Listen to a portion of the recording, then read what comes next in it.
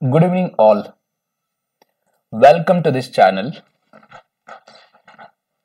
So, actually, we had a discuss on corporate action in last session, and we left uh, with uh, you know types of corporate action and many concept.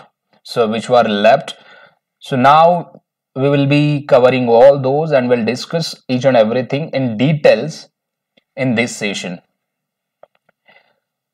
So so, uh, ये session जो भी रहेगा हर चीज़ हम लोग अच्छे से discuss करेंगे कॉर्पोरेट एक्शन क्या है इम्पैक्ट क्या है लाइफ साइकिल क्या है एंड आई एम श्योर कि ऐसा सेशन uh, पहले कभी इन डिटेल्स इतना हुआ नहीं होगा यूट्यूब या किसी भी कहीं पे भी लिखा भी नहीं होगा तो हम वो हर एस्पेक्ट विल कवर अगर ये सेशन अटेंड करने के बाद definitely it will help you a lot to grasp the knowledge on corporate action and their life cycle or types of corporate action and all. So uh, already we have discussed about what is a corporate action but still we'll recap it right? And uh, just uh, uh we will uh, keep a small glance on all the you know the what is corporate action and all and we'll directly jump on types of corporate action all right? So what is a corporate action basically. What is a corporate action? Corporate action is a move enacted by a publicly traded company that encourages or further process that have a direct impact on whatever asset the company issues right? In other words any actions conducted by a company that materially alter or otherwise change the company can be considered a corporate action events so in the last session, I spoke about corporate action. What is a corporate action? Anything, anything that bring a material change in the organization, financially or non-financial, or either I would say monetary or non-monetary. So all those events considered as a corporate action. Corporate means industry, action means any activity so for example, if we talk about IPO initial public offering, that can be a corporate action, right? That can be an, a corporate action. Even annual general meeting, AGM can be a uh, corporate action, of course. Even those companies, uh, public limited companies want to change the name of any their subsidiaries or their organization still that can be a corporate action. Even those they reappoint to a managing directors or any other you know the members in the body or core committee. So that can be a corporate action. So any action monetary either non-monetary all actions comes under the fall of uh, corporate action right? So in summary here you can see of course here you can see this summary. The corporate action is any action taken by a company generally enacted by its board of directors. So that has a material impact on the uh, company and its shareholders. So corporate action involve either changing a company's name brand merger acquisition spin-off issuing dividends or many more right? Corporate actions fall into one of three categories. Mandatory shareholders effectively have no choice as to their participation. Mandatory with choice mandatory with option options. The board of directors carries out an action but provides shareholders with a choice of options right? Csu cash dividend DRIP right? Voluntary cash uh, voluntary events or corporate actions. Each shareholders decide if he will participate he or she will participate in the action or not so that is the summary right so उसके बाद अभी और uh, कुछ है ही नहीं है कि जो उसमें और ऐड करे। मैंने इन जनरल बोल ही दिया था कि जो भी एक्शंस रहेंगे हर एक एक्शन कॉर्पोरेट एक्शन बोल के कैलकुलेट होती है। ये हम आगे डिस्कस करेंगे जो मैं हर चीज़ यहाँ पे जो बोल रहा हूँ या फिर जितनी भी समरी में चीज़ें हैं सो विल डिस्कस ठीक है? और मैं आपके साथ साथ ही मैंने चीज़ें लिखी है खुद। मैंने कुछ ऐसे आ, कहीं से मिला नहीं मटेरियल कहीं है नहीं है इतना एग्जिस्ट एक दो वेबसाइट्स है so that will help you a lot if you want to you know the additional information want to collect और want to read then you can go on that side and you can read that information it is very much you know now they have recently developed nice you know their dashboard so आपको वहाँ पे मिलेगा, अच्छे से information मिलेगी but still so बहुत सारी चीज़ें हैं प्रैक्टिकली समझना बहुत ज़रूरी हो जाता है कि प्रोसेस कैसी होती है इवन uh, उसका फ्लो कैसे होता है right every process has their own process flows कि कहाँ से कहाँ जाएगी कहाँ से कहाँ जाएगी क्या करना पड़ेगा एक्शन क्या रहेगा राइट तो ये भी जितनी भी चीज़ें मैं डिलीवर करने की कोशिश कर रहा हूँ मेरा इंटेंशन एक ही है कि आपको प्रैक्टिकल कॉन्सेप्ट समझे और the second very important is कि सबको जॉब चाहिए होता है इन्वेस्टमेंट बैंकिंग के फ़ील्ड में या फिर if you are belong to commerce और any other fields so this session will help you a lot to get place in in the industry right so ये पूरी चीज़ें ध्यान में रख के मैं ये वीडियोस बना रहा हूँ। तो मेरे पास ज़्यादा you know the board and all नहीं है बट स्टिल नॉलेज देने के लिए हर एडवांस इक्विपमेंट की ज़रूरत हो ये ज़रूरी नहीं है। आफ्टर ऑल जो मैं कह रहा हूँ आप आपको समझे और आप आपको आ, मिले। यही इंपॉर्टेंट है ठीक है? So let's look to this how it works how it works can you imagine how it works corporate action right traded companies are uh, frequently was seen by a board of directors, individuals closely tied to the company and who are elected to serve in various positions. The directors approve any corporate action taken most commonly through a vote. Of course, if you are a shareholders of uh, ABC company, then so what they will do? Suppose you have started to make a trade in you know equity earlier. Let's assume it, right?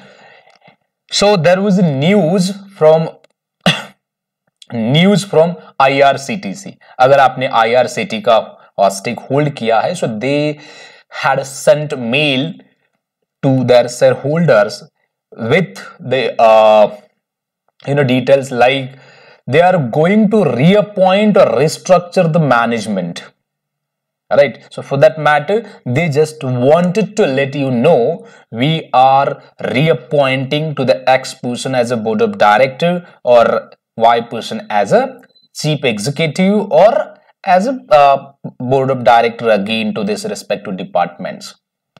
So what was that? That was the part of corporate action.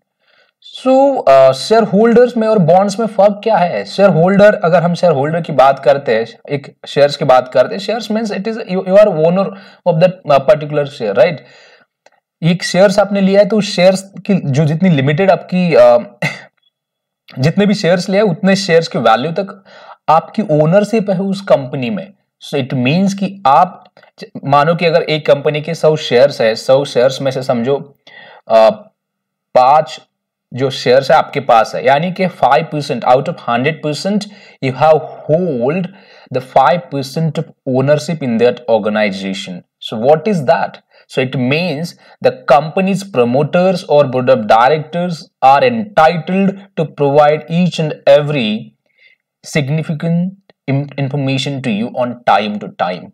They should deliver all the information to you including profit and loss quarterly you know their discussion on profit and loss or again cash flows and all many things i would say so i can't be discuss all those things here but still profit and loss से लेकर किसी का किसी को appoint करना है, किसी को निकालना है, जो भी चीज़ें रहेगी या फिर if they want to expand their business right if they want to acquire any business recently we have we can take example of GMM folder we folder so what they have they have done right they they have announced offer for sale it is like buy back और I would say not not buy back it is like a tender मतलब उन्होंने बोला कि किसी को अगर shares लेना है तो हम और डिस्काउंटेड प्राइस पे बेचेंगे। It is offer for sale right तो हम हमारे शेयर्स बेच रहे यानी कि प्रमोट प्रमोटर्स ने उनके टू परसेंट स्टेक बेचने के लिए निकाले, जो भी प्रमोटर्स थे। तो वो क्या है? It is corporate action right तो ये फिर बहुत सारी चीज़ है कि आपके दिमाग में ये सवाल आएगा कि भाई, ये प्रोसेस कैसे करेंगे हम? How do we process it how do we get the information right so for example कि उसमें उस कंपनी में जीएम फोल्डर में कॉर्पोरेट एक्शन अनाउंस कैसे हुआ पता कैसे चलेगा? Of course we have stock exchanges those companies have listed to the stock exchanges you can go their site or portal and you can collect the information. You can grab the information right? So so, हर चीज़ हम देखेंगे धीरे धीरे करके। चलो आगे बढ़ते हैं। Those are the actually uh, you know the uh, जो इनफैक्ट रहेगा कि किसके ऊपर जाएगा अगर कोई कॉर्पोरेट एक्शन होता है या फिर कौन कौन चीज़ें जाएगी जो रहेगी या फिर कॉर्पोरेट एक्शन जब अनाउंस हो जाता है तो किन के किन के ऊपर इम्पैक्ट आ सकता है? Of course preferred and common share holders और stake holders and bond holders इन सब के ऊपर इम्पैक्ट आएगा। Right right? यहाँ पर कुछ एग्जाम्पल्स दिए है। अगर आप पढ़ोगे तो यहाँ पर चेंजिंग चेंजिंग कंपनीज़ नेम और the design of the brand handling pertinent financial issues such as the company needing to liquidate और फ़ाइल फॉर अ बैंक और मर्जिंग विद और acquiring another company form of spin off and all so will discuss all those things just ये एक material है तो हम उसके हिसाब से जाएँगे थोड़ा सा। और फिर हम लोग, बाद में मैं एक्सेल में कुछ मैंने खुद मटेरियल प्रिपेयर किया है so will look to that so now let's let's let's we can discuss about types of corporate action there are basically three types of corporate action mandatory mandatory with choice and voluntary right so basically mandatory types what what are the mandatory or what is the mandatory action actually? So we'll look to it first. Mandatory corporate actions are enacted by a company's board of directors so, this statement is very important right? Because in such action shareholders cannot be participate of course they will be entitled to get the benefit but they will not be you know to able to cast the vote against such event. For example merger for example stock dividend for example uh, even cash dividend even um, you know uh, stock split reverse split right so those are the mandatory corporate actions, even those bankruptcy or again withdrawal or redemption, right? So those uh, event types comes under the mandatory corporate action. So where you cannot, suppose you are a shareholders of XYZ company, for example, let's say Tata, right? Tata's want to expand their business and for that matter, so for example, today they will acquire to the Walmart, right? So it is acquisition acquisition comes under mandatory corporate action right in such event still you have hold the shares of tata group or uh, tcs but still you cannot do anything yes you will be entitled to receive the benefit and all or whatever corporate action benefits are there you will be eligible or you will still uh, qualify to receive the benefit but you will not be able to cast the vote. For example if uh, Tata uh, Tata have announced that they want to acquire to the Walmart, but you are a shareholder, but still, if you don't want to go with that particular acquisition or merger, so it means you have two options. Either you can sell out your position and back out your position from the market.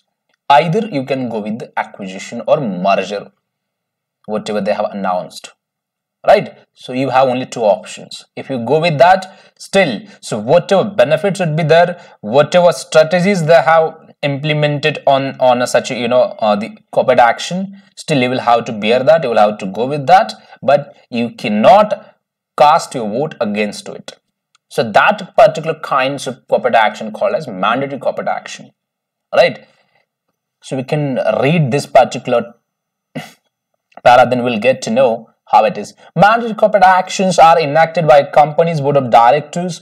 Mandatory actions such as the issuance of cash dividend, right? So few people, maybe you have a doubt. So is the cash dividend mandatory action? Yes, of course, it is a mandatory. It is a mandatory to uh, distribute the, you know, the dividend to the shareholder.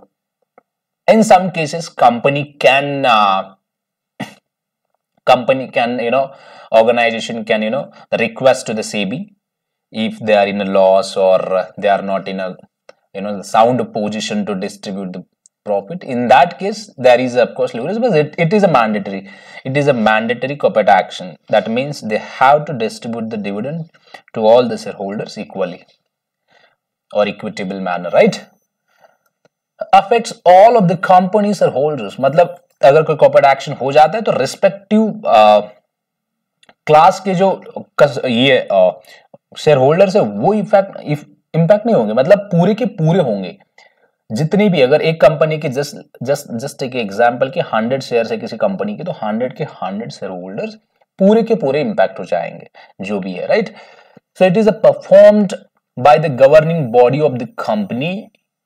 Shareholders need to do nothing aside from collecting the cash dividend on their shares, right? So यहाँ पे मैंने clearly mention किया है कि क्या है exactly. Right इस statement से आपको समझना चाहिए कि आपको वोट वगैरह करने की ज़रूरत है ही नहीं है। Just you will credited that amount then just take it and enjoy it right बाकी का डिसीज़न है बोर्ड ऑफ़ डायरेक्टर के ऊपर छोड़ दो। In addition to dividends other actions classified as a mandatory include spin off stock split, and mergers mandatory in this concept. Means that the shareholders have no choice but to accede to the action being taken, right? Choice नहीं है उनके पास। That's it इतना याद रखो।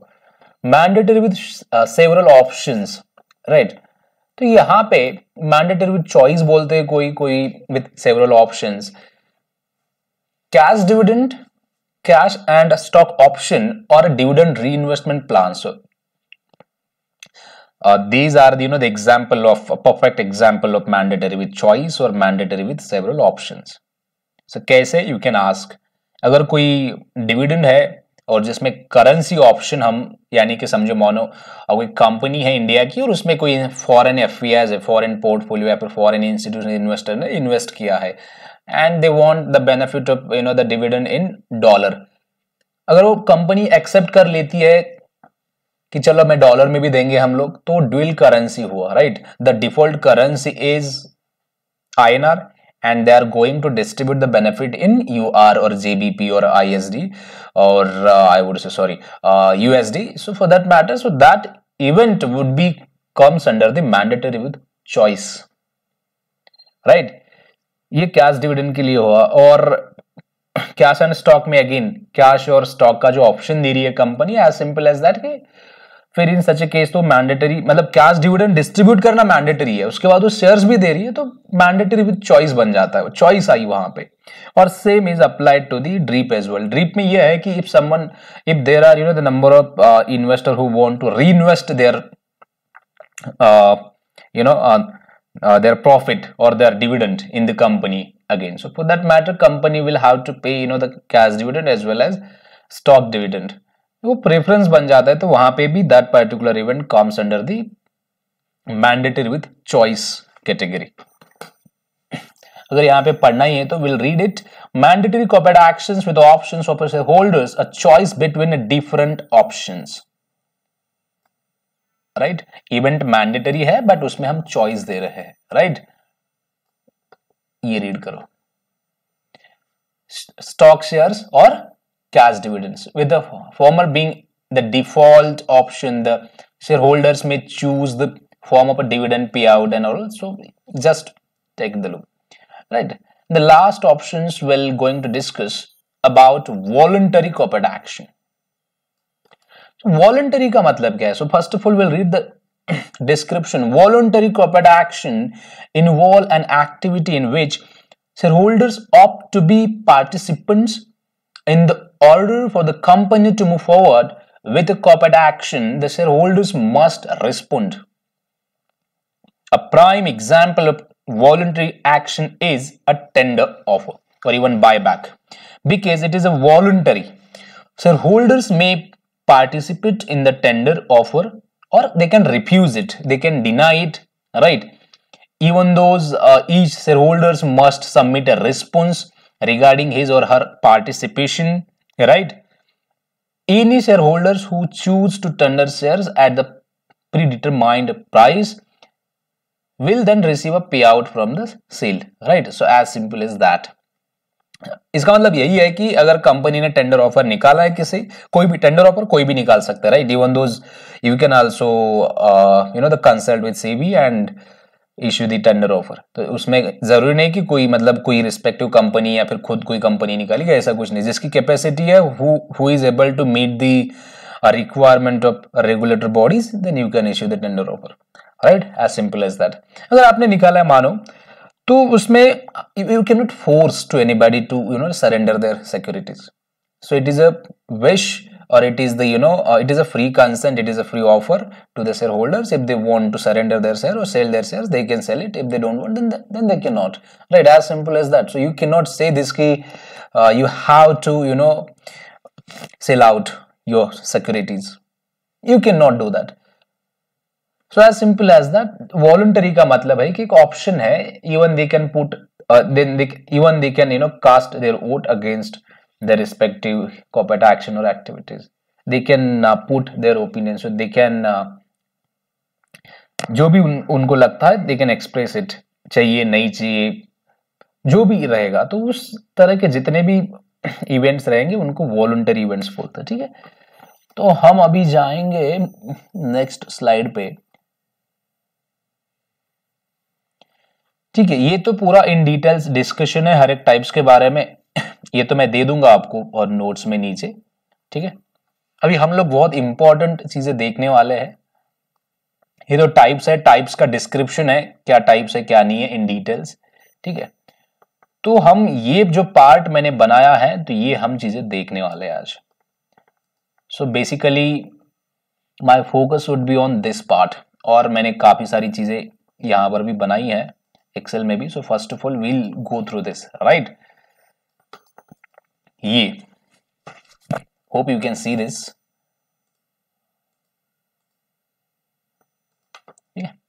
types of events यहाँ पर types भी है जो most popular types I would say ये जो है मैंडेटरी कैटेगरी के अंदर you can see stock dividend stock split reverse split redemption assimilation spin off merger acquisition coupon interest payment name change and blah blah blah blah.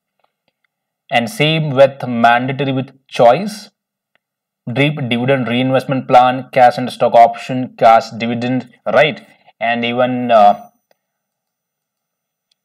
involuntary type buyback tender sub offer rights coupon right spin off with elections and uh, merger with elections right जो भी elections का part आता है just assume it कि ये this would be the part of this and this मतलब voluntary types का right तो हम अभी, हम जो मैंने बोला था कि हम प्रैक्टिकली डिस्कस करेंगे राइट right? पहले तो हमने कॉर्पोरेट एक्शन के बारे में मैंने दो this is I think second session है मेरा कि उसमें भी मैं यही बोल रहा हूँ कि कॉर्पोरेट एक्शन क्या था, क्या नहीं है, और मैंने बेसिक लेमन से लेमन लैंग्वेज मैंने यूज़ की है right you can I can take this session in English as well but that doesn't make sense if you are not getting anything through this, right the, my ultimate goal is, like, you should understand, you know something from this session i have uh, put a lot of my efforts on this to make you know the prepare this session and all just if you watch this it will have a you know the clarity on uh, corporate action the types of corporate action and easily you can crack the interview even interview crack किया आपने और आप किसी industry में है still आपको knowledge भी चाहिए so this session will help you a lot and still you may have any question after this watching this session you can reach out to me do not hesitate to contact me even on mail or either my whatsapp number and all so i'll be there to you know to help you on this as simple as that let's start with this stock dividend mandatory corporate action है पहले हम ये बात करेंगे अभी practical perspective के हिसाब से अगर बात करेंगे तो स्टॉक डिविडेंड में पे क्या होता है राइट right? पे क्या होगा इसमें आपको एक पे होगा इसमें जो रहेगा स्टॉक पे होगा right to whom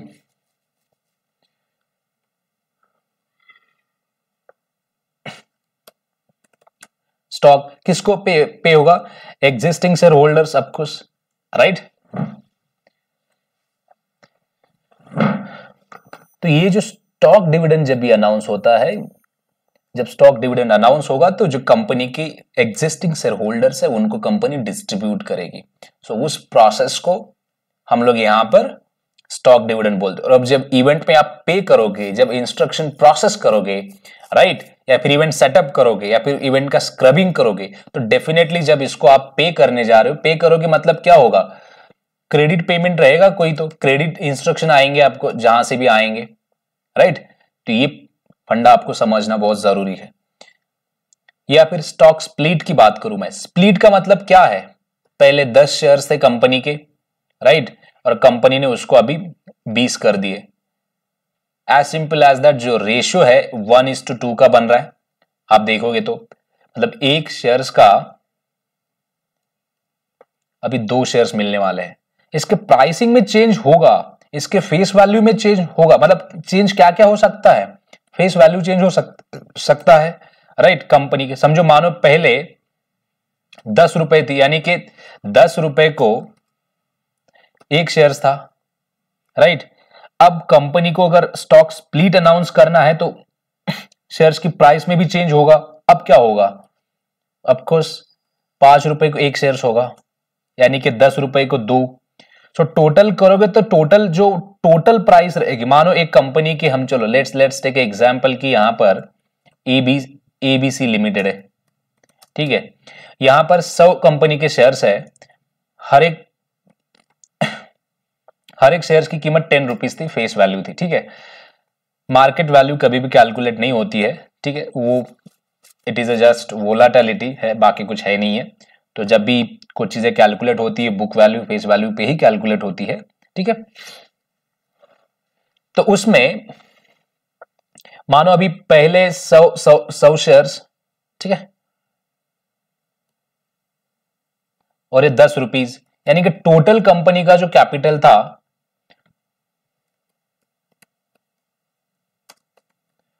total capital जो था वन थाउज़ेंड था राइट ये तो पर शेयर फेस वैल्यू है। And this is total shares right अभी हम बात करेंगे जब कंपनी ने रिवर्स स्प्लिट अनाउंस किया सॉरी स्टॉक स्प्लिट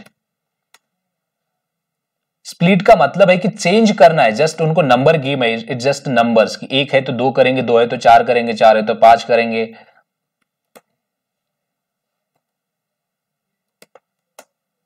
राइट? तो अभी कंपनी ने क्या किया? उसके 200 शेयर बना दिए।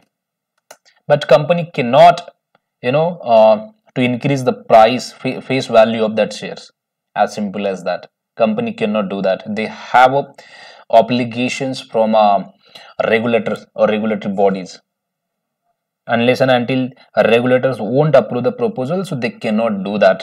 Right? right? तो इससे क्या होगा कि कंपनी का जो टोटल कैपिटलाइजेशन है वो चेंज हो जाएगा। टोटल कंपनी की वैल्यू में पूरी चेंज हो जाएगी, क्योंकि ये बेस वैल्यूज़ है।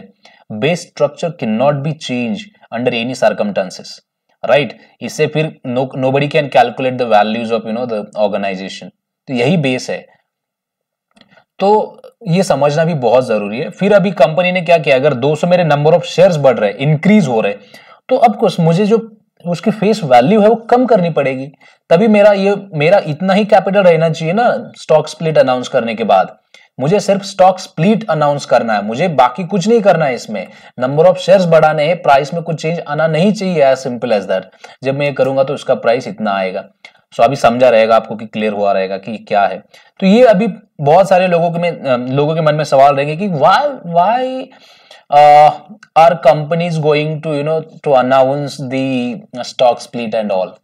Reason could be many. अगर मैं बोलूँ तो कंपनी को यानी कि प्रोमोटर्स को कंपनी के भी नंबर ऑफ़ शेयर्स यानी कि एक शेयर्स को एक परसेंटेज uh, कहा जाता है। अगर उनको खुद के नंबर ऑफ़ शेयर्स बढ़ा के परसेंटेज बढ़ाना है ऑर्गेनाइजेशन में तो भी वो हेल्प हो जाती है।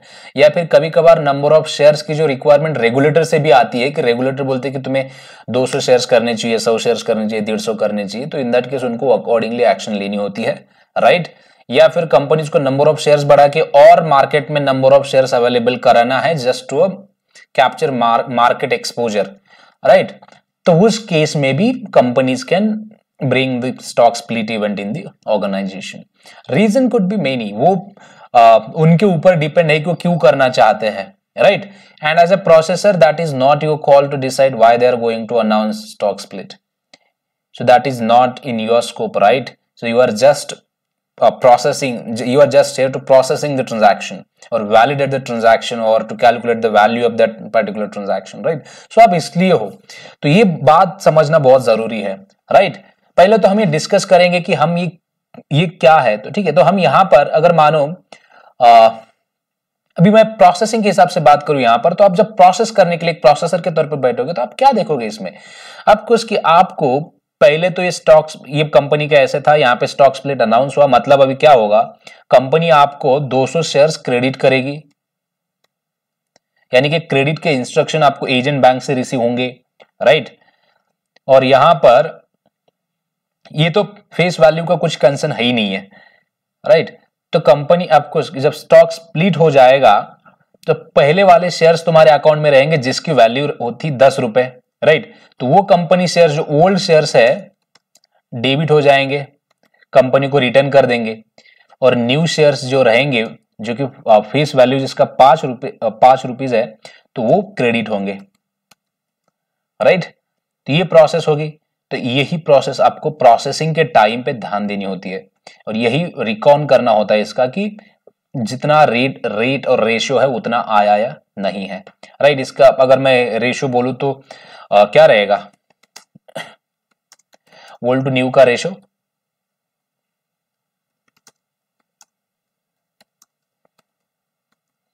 क्या होगा old to new to ratio of course one is to two shit right? ये रेशो होगा उसका। समझ रहे इस बात को? तो ये रे, रेशियो बराबर है या नहीं है? या फिर किसी कंपनी का मानो एबीसी लिमिटेड कंपनी तो उस कंपनी का नाम बराबर है या नहीं है? अभी इसके भी आगे जाके कंपनी कोई भी कंपनी जब हर एक कंपनी को एक स्टॉक एक्सचेंजेस ने आइजिन दिया होता है। आइजिन मतलब एक नंबर है जस्ट नंबर आइडेंटिफायर नंबर है। हम स्टॉक एक्सचेंज जो लोग इन्वेस्ट करते हैं उनको पता रहेगा कि आइजिन क्या है राइट तो उस आइजिन के अंडर हर डिटेल्स आपको मिलेगी, हर एक कंपनी की राइट तो उसके अंडर आपको यानी कि वो आइजिन बराबर है या नहीं है, उसको कुछ टैक्स ट्रीटमेंट अप्लाइड है या नहीं है तो वो चीज़ें आपको देखना है। अगर मैं इसकी बात करूँ रिजर्वेशन की सॉरी रिवर्स स्प्लिट की तो रिवर्स स्प्लिट में ऑफकोर्स यहाँ पर अगर मैं, यही हम एग्जांपल रिवर्स तरीके से ले लेते अगर 200 शेयर्स कंपनी के मार्केट में थे तो कंपनी को घटाना है, समझो 100 शेयर्स बनाना है। Right? So two is to one company बना देगी उसको। तो उसी केस में क्या होगा? सेम पहले के शेयर्स निकाल लेंगे दूसरे के डाल दिए जाएँगे अकाउंट पे उसके। तो ये जो एक्टिविटी होती है, ये समझना बहुत ज़रूरी होता है। राइट है रिडम्शन में क्या होगा? रिडम्शन में कोई मानो कंपनी लिक्विडेट हो गई है, बंद पड़ गई है, यानी कि कंपनी अभी मरने के कगार पर है। तो उसके जो सिक्योरिटीज रहेंगे, कहा जाएँगे? सिक्योरिटीज मार्केट से तो निकालने पड़ेंगे ना उसकी कोई वैल्यू ही नहीं बचेगी। जब कंपनी रिडम्शन डिक्लेयर कर देती है लीगल प्रोसेस के थ्रू बैंक बोल सकते हैं उसे राइट जब वो डिक्लेयर कर देती है कि we are not able to pay और कंपनी में कोई जान नहीं बची है तो इन दैट केस जो शेयर्स तुम्हारे अकाउंट में पड़े होते हैं तो कंपनी को रिटर्न जाते हैं।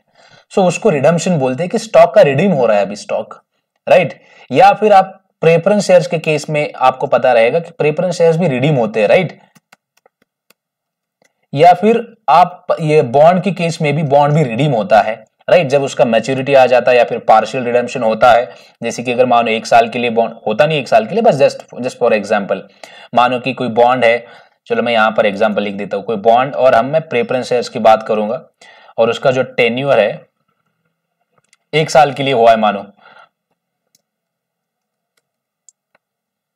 वन ईयर के लिए है तो जैसे वन ईयर के लिए वन ईयर में क्वार्टर कितने होते हैं? Quarter first quarter two quarter 3 and quarter 4 right? So so, इस क्वार्टर में जब भी क्वार्टर आती है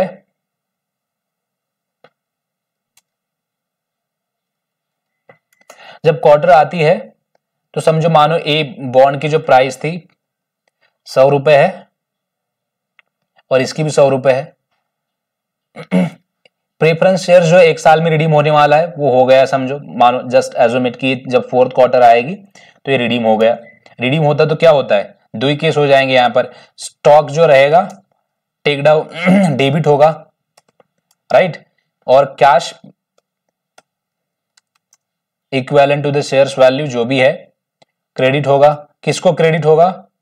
आपको जो इन्वेस्टर है उसको इन्वेस्टर को। और ये जो एक्टिविटी क्या होगी? स्टॉक स्टॉक डेबिट जब हम करेंगे तो किससे करेंगे? इन्वेस्टर के अकाउंट से करेंगे right and after all credit किसको करेंगे? सीआर टू द कंपनी समझा? फंडा तो ये होता है। अगर मैं यही केस बॉन्ड केस में बोलूँ तो बॉन्ड का रिडम्शन मैच्योरिटी पे भी हो सकता है एंड क्वार्टरली भी, जैसे स्कीम हमने ऑप्ट की है उस पर निर्भर निर्भर होता है कि हमने कौन सी स्कीम ऑप्ट की है। सो so, उसी के तहत यू कैन सी डेफिनेटली कि वो क्वार्टरली रिडीम हो रहा है या फिर monthly redeem sorry yearly redeem हो रहा है या फिर after two quarter consecutive quarter redeem हो रहा है। सो so, डिपेंड करता है कि स्कीम कौन सी थी और कैसे वो रिडीम होने वाला है राइट right? तो अगर मैं यहाँ पर समझो मानो कि हमने हर क्वार्टर ट्वेंटी फाइव रुपीज़ के हिसाब से वो रिडीम हो रहा है। तो हर बार आपको उसी आइजिन पे जाके you have to pay that event pay that मतलब क्या कि इन्वेस्टर को पच्चीस रुपए क्रेडिट करने पड़ेंगे आपको राइट हर क्वार्टर पे आपको पच्चीस रुपए क्रेडिट करने पड़ेंगे। पच्चीस पच्चीस पच्चीस पच्चीस। वो इंटरेस्ट का अलग रहेगा। इंटरेस्ट भी रहता है बट जस्ट फॉर एग्ज़ाम्पल मैंने बताया कि आपको ये ऐसी चीज़ें वर्कआउट होती है। आप ये सब चीज़ें लिखकर भी रख सकते हैं। राइट? सो यहाँ पर अगर मैं असिमुलेशन की बात करूँ असिमुलेशन मीन्स असिमुलेटेड आत्मसात करना। आत्मसात करना ये तो एक मीनिंग हुआ उसका बट यहाँ पर अगर हम बात करते तो असिमुलेशन की कोई भी अगर सिक्योरिटीज uh, में टाइप होते हैं ट्रेडेबल सिक्योरिटीज और नॉन ट्रेडेबल सिक्योरिटीज अब नॉन ट्रेडेबल सिक्योरिटीज होती है तो उसको ट्रेड लाइन पे लाने के लिए उसको ट्रेडिंग जहाँ जिस सिक्योरिटी पे ट्रेडिंग हो रही है जिस आइजिन पे ट्रेडिंग हो रही है उस तक uh, लाने के लिए असिमुलेशन जो इवेंट है वो हेल्प करता है। Assimilation in short like just to bring the position on trading line you can say that it will help you to bring the position on trading line और जब जैसे ट्रेडिंग लाइन पे आ जाएँगे you will able to start the trading right so इसलिए होता है। Spin of तो आपको पता ही है। स्पिन ऑफ़ हो रहा है। स्पिन ऑफ़ का मतलब क्या है? बिज़नेस का स्पिन ऑफ़ है। बिज़नेस जैसे एक uh, एक डिपार्टमेंट से दूसरे डिपार्टमेंट में जा रहा है राइट बना रहा है वो तो स्पिन हो रहा है। तो उस उस टाइम पे भी जब कंपनी में जब चेंज आएगा तो उससे सिक्योरिटीज के प्राइसेस चेंज हो जाएँगे।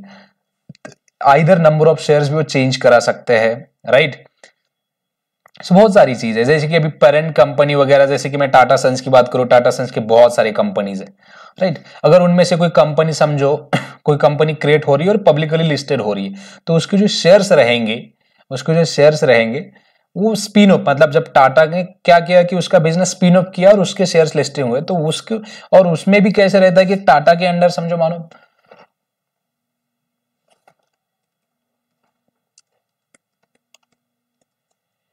ये टाटा कंपनी है, ठीक है, टाटा कंपनी के under you can see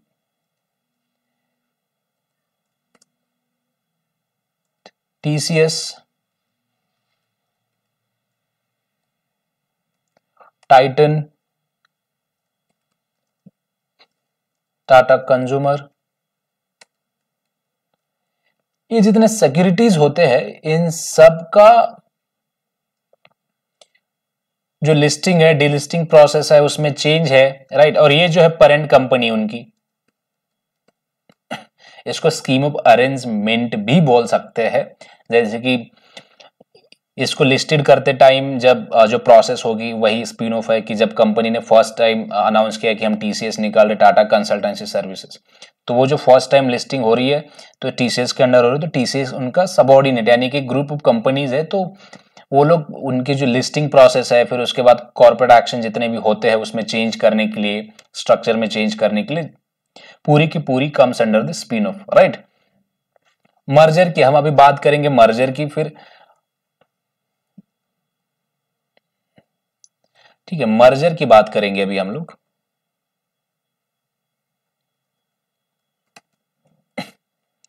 Latest will take example of Future group and Reliance retail retail company Future Future limited को अक्वायर करना चाहती है रिलायंस कंपनी राइट तो ये क्या हुआ? मर्ज हो रहे कंपनीज़ या फिर आप एक्विजिशन भी बोल सकते हैं। एक कंपनी दूसरे कंपनी के साथ अगर मर्ज हो रही है, उसमें जो टर्मिनोलॉजीज है हम यहाँ पे देखेंगे नहीं, वो अलग अलग रहती है, जहाँ पर कि वर्टिकल मर्जर है हॉरिजॉन्टल मर्जर है मर्जर कैसा है, या फिर उनका कैपिटल क्या रहने वाला है capital adequacy ratio budget ratio जो भी जितने भी रेशोज है, कैसे रहने वाले, ये that is not our part right तो वो अलग तरह का कैलकुलेशन है, अलग तरह का प्रोसेस है बट यहाँ कॉर्पोरेट एक्शन में आपको ये नहीं देखना बट आपको ये देखना पड़ेगा कि जो मर्जर हो रहा है तो उसके जो पोजीशंस रहेंगे, यहाँ पे हंड्रेड पोजिशन यहाँ पे मानो हंड्रेड पोजिशन यहाँ पे तो ये मैच होना चाहिए। राइट अगर एक को डेबिट हो रहा है तो दूसरे को क्रेडिट होगा। राइट तो ये जो प्रोसेस रहेगा, ये मैच होना बहुत ज़रूरी है हमारे लिए राइट तो हम ये देखने के लिए यहाँ पर है। और same with acquisition also right acquisition जब होता है तो एक कंपनी दूसरे कंपनी के साथ अक्वायर हो रही है राइट तो उस केस में भी जो कंपनी का जब नाम चेंज हो जाता है, बहुत सारी चीज़ें होती है आइजिन चेंज होगा स्क्यूसिप चेंज होगा, वो उसी सब केसेस में ये सेम जहाँ पर मैंने बोला कि डेबिट क्रेडिट जितने भी इंस्ट्रक्शन आते तो वो हमें मैच करने बहुत ज़रूरत हो जाती है। यहाँ पर अगर हम कूपन की बात करते हैं, कूपन इंटरेस्ट पेमेंट की तो ये बेसिकली बॉन्ड्स के ऊपर जब कूपन इश्यू होता है तो उसके लिए होता है तो हम क्वार्टरली या फिर एनुअली जैसे स्कीम थी सब्सक्राइब करते टाइम उस टाइम को डिफाइन करते हैं और उसी के बेसिस पे हमें हर क्वार्टर में एक इवेंट क्रिएट करना होता है just to pay the interest to that particular investor right name change का मतलब यहाँ पर अगर अभी मैंने बोला कि जब एक्विजिशन हो जाता है या फिर मर्जर हो जाता है या फिर स्पिन ऑफ़ हो जाता है तो कंपनी को अलग अलग नाम रखने रखने पड़ेंगे। तो उस केसेस में कंपनी सोचेगी, देखेगी कि क्या करना है। और नाम भी चेंज हो सकता है। तो बट ये नाम चेंज का कुछ ज़्यादा इंपैक्ट नहीं होगा किसी भी शेयर होल्डर के ऊपर। कुछ भी नहीं होगा। It is comes under you know the non monetary corporate action तो कुछ होगा नहीं राइट तो ये हुआ पार्ट जो हमने डिस्कस किया। तो अब हम डिस्कस करेंगे ड्रीप के बारे में। DRIP dividend re plan company ने समझो सौ रुपए डिविडेंड था। लेट्स टेक इट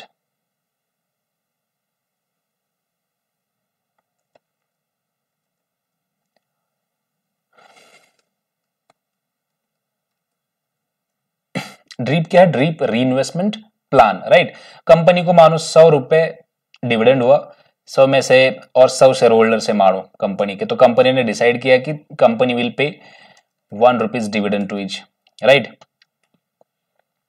और आ, अभी उसमें से कुछ शेयर होल्डर्स जो है उन्होंने ये कहा कि फिफ्टी परसेंट लेट्स एज्यूमेट कि पचास शेयर होल्डर्स को पैसा चाहिए राइट right?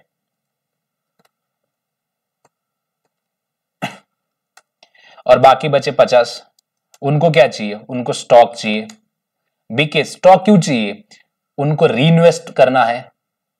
राइट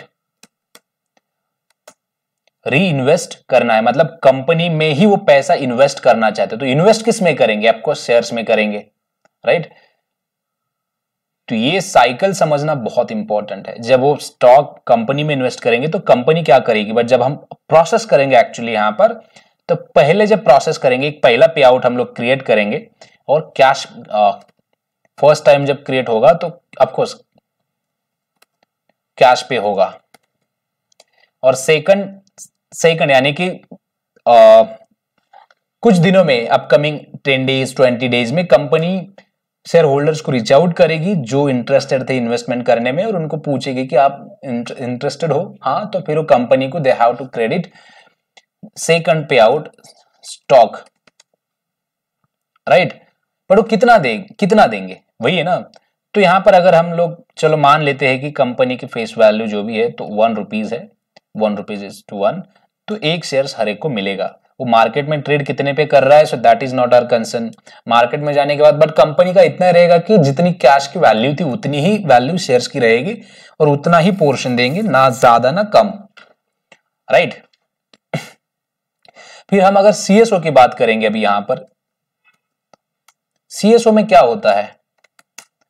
कैश और स्टॉक एक ही इवेंट रहेगा जहाँ पर directly you can pay it but उसमें इंपॉर्टेंट चीज़ ये रहेगी कि शेयर होल्डर्स जब आप उनको पूछते हो कि कंपनी को समझो सौ रुपए प्रॉफिट हुआ है राइट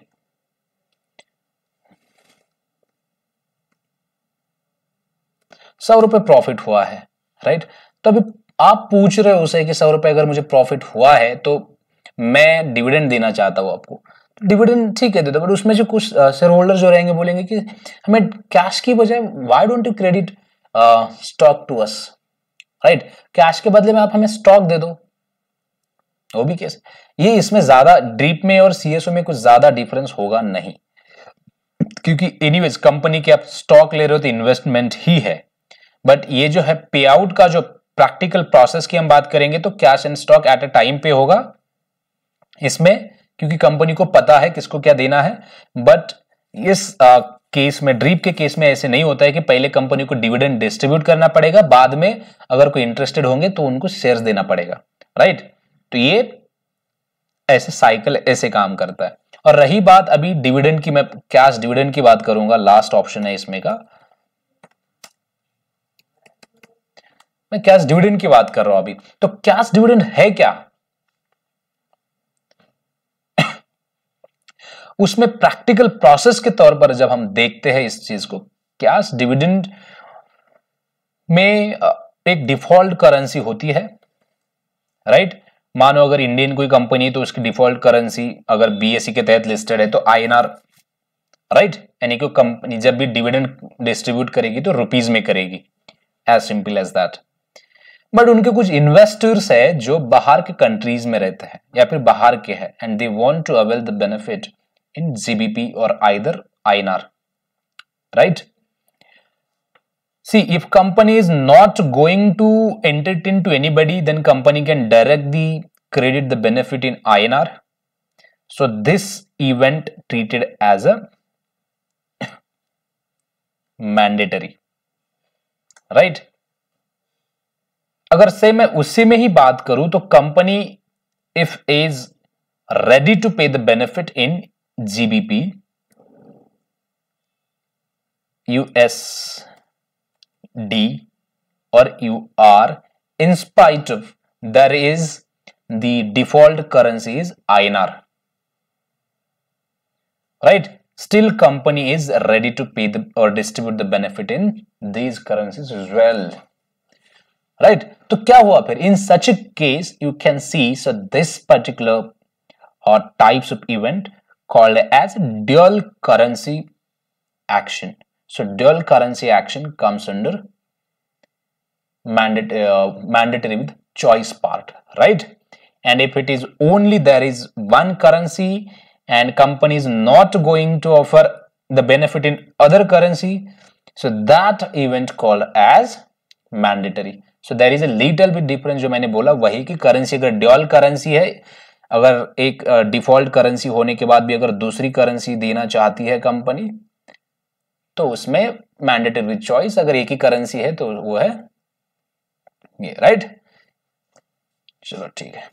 तो हम बात यही करेंगे अभी वॉलंटरी की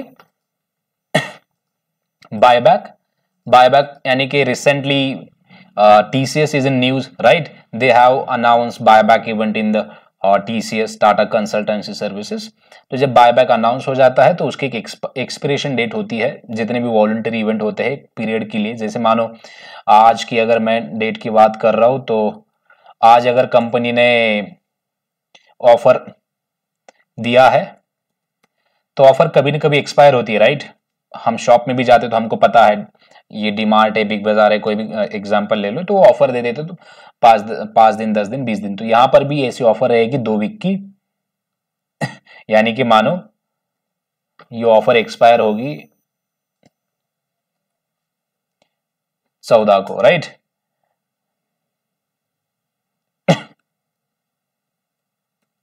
ये दोनों के लिए ही है, ठीक है? ये टेंडर एंड ये तीनों के लिए भी है। चलो ठीक है, मैं यही इन सब की बातें करूँगा। अलग अलग प्रोसेस फ्लो रहेगा इनका बट स्टिल ये सब की बातें करूँगा मैं, ठीक है? एक ही बार में।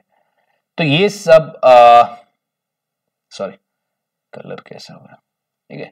ये जितने भी इवेंट्स रहेंगे, इनको एक ऑफ़र होती है। ऑफ़र जब ये अनाउंस हो जाती है तो ये हमें डिसाइड करना है कि अगर हम किसी कंपनी के शेयर्स होल्ड किए हैं तो और उसी ड्यूरेशन में हमें सेल करना यानी कि उनको सेल करना है। राइट तो उनको सेल जब हम करेंगे तो डेफिनेटली कि they will be entitle to process the cash for us and हमारे जो भी एजेंट रहेंगे एजेंट बैंक या फिर ब्रोकर्स रहेंगे, वो हमारे अकाउंट से डेबिट करेंगे स्टॉक और कैश क्रेडिट करके डील खत्म करेंगे right but the important thing is कि जब ये ऑफ़र अनाउंस हो जाती है तो ये जब यहाँ पे एक्सपायर हो जाती है तो उसी पीरियड में जितने भी ट्रेड्स आएँगे, उतने को ही बेनिफिट मिलेगा।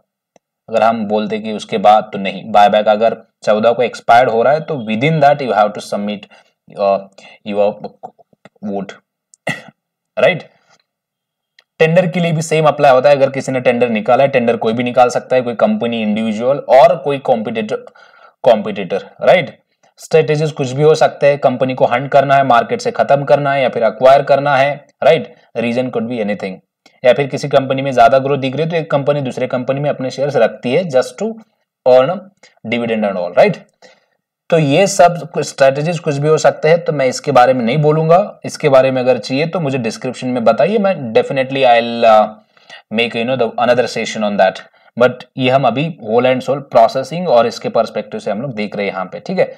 तो ये फिर टेंडर ऑफ़र की टेंडर ऑफ़र भी सेम होता है सब ऑफ़र भी सेम है। सब ऑफ़र यानी कि राइट्स के बाद जब सब ऑफ़र होगा तो उसमें एक्सपायरी डेट होगी तो with on that expiry date और before that you have to submit your option और चॉइस वही कूपन भी सेम है। कूपन यहाँ पर, ये इक्विटी का कूपन है एक्चुअली राइट कूपन दो तरह के होते हैं।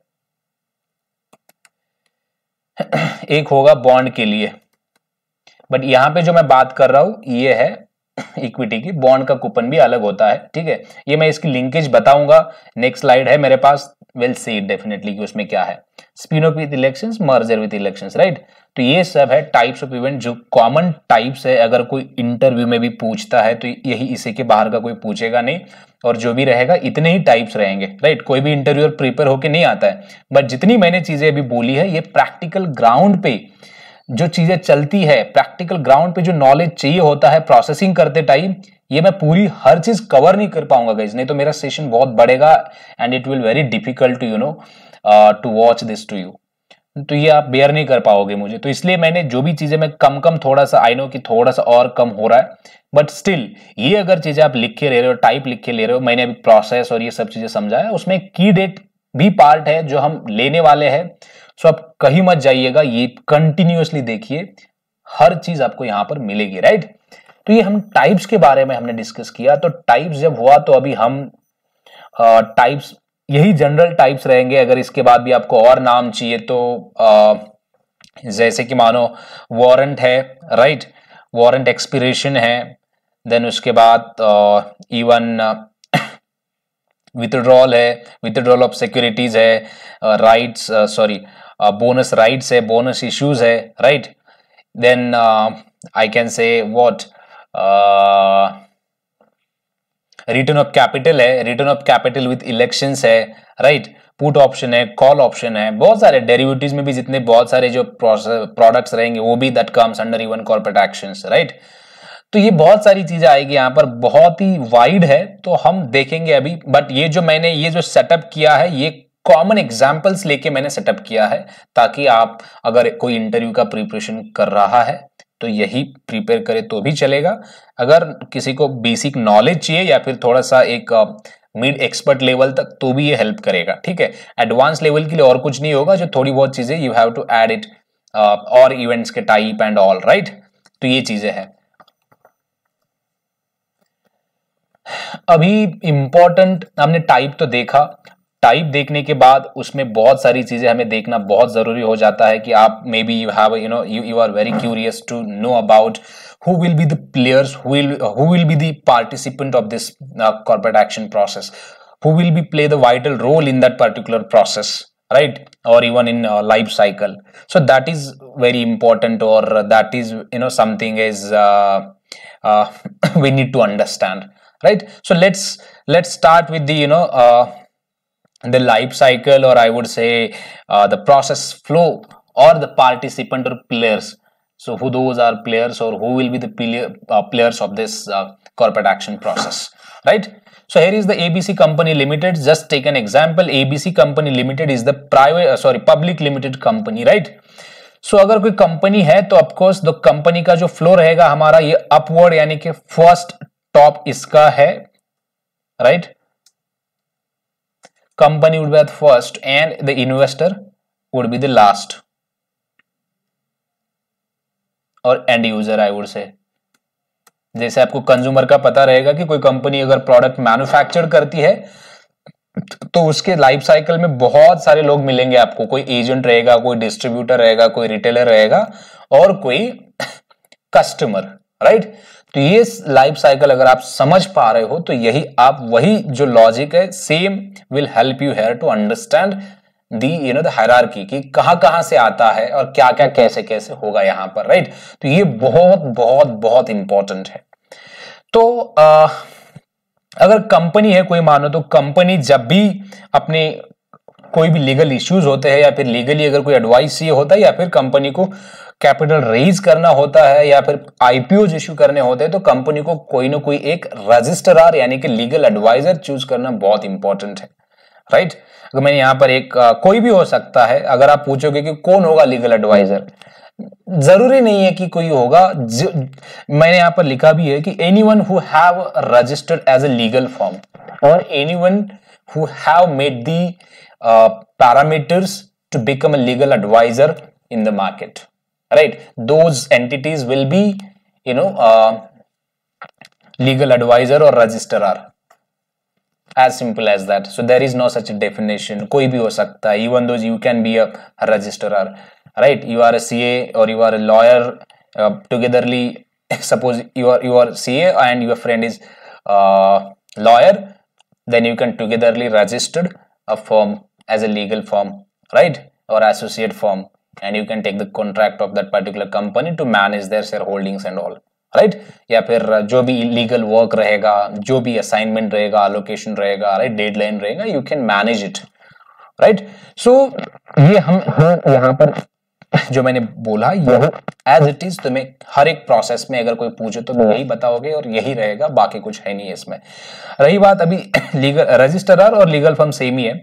फिर एजेंट बैंक होती है। एजेंट बैंक अगर इंटरनेशनल लेवल पे अगर, मैं बात करूँ इंटरनेशनल लेवल पे तो सिटी बैंक है बीएनपी है बीएनवाई है जेपी मॉर्गन है गोल्डमन सैक है डीबी है right so those are the international bank so they will work as a agent bank. Even the euroclear is also there. Euroclear is from you know the uk and ireland uh, so though they, these companies will be work as a or these organization or banks will be work as a agent bank. Agent कोई भी middleman है यार कोई भी bank हो सकती है। अगर मैं इंडियन मार्केट की बात करूँ तो H D F C securities could be the you know the agent bank right ज़रूरी नहीं कि और ऐसे ऐसे सिक्योरिटीज होगा कोटक सिक्योरिटीज होगा राइट शेर खान होगा कोई सॉरी शेर खान नहीं। तो ये जो बैंक है they can play role as agent bank right right? तो कोई भी हो सकता है एजेंट जहाँ से हमको पैसा आने वाला है यहाँ पे ये बात समझना बहुत ज़रूरी है समझो मानो कि कोई H D F C bank है राइट right? और मैं एक कंपनी हूँ या फिर मैं एक इन्वेस्टर हूँ